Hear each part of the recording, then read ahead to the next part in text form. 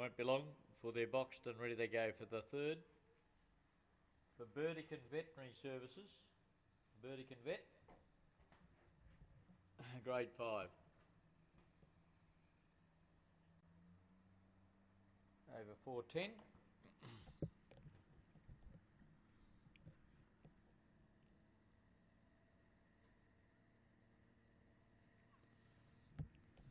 and being boxed.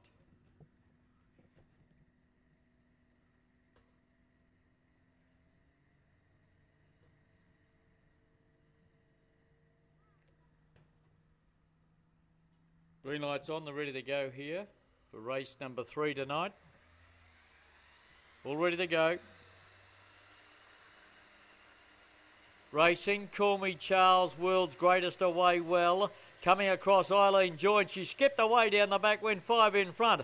The world's greatest into second placing now. Billy Knocker runs to second. World's greatest getting relegated back as quickly going up past it there. Would have been Popper's picking around the back. Then came Far More Greenies right out of a She's Fab into the straight. Eileen Joy though well and truly home. Eileen Joy. Second will be Billy Knocker and third Popper's pick. They were followed then by uh, Far More Greenies and back behind them then came Call Me Charles, which was never in it. Back behind them then came uh, She's Fab, which is one of the last ones in.